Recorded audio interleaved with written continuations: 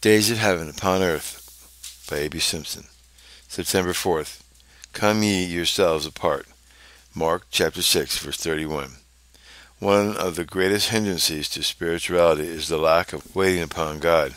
You cannot go through 24 hours with two or three breaths of air in the morning as you sip your coffee, but you must live in the atmosphere and you must breathe it all day long. Christians do not wait upon God enough. It needs hours and hours daily of spiritual communion with the Holy Spirit to keep your vitality healthful and full. Every moment should find you breathing out yourself in Christ and breathing afresh His life and love and power. God is waiting to send us the Holy Spirit. He is longing to bless us. His one business is to quicken and sustain our spiritual life. He has nothing else to do with His infinite and great resources. Let us receive Him. Let us live in Him.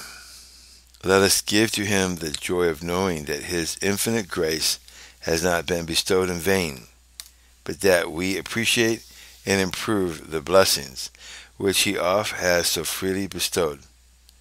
Lord, help me this day to dwell in Thee as a flower in the sunshine and as the fish in the sea, living in Thy love as the atmosphere and clemence of Thy being.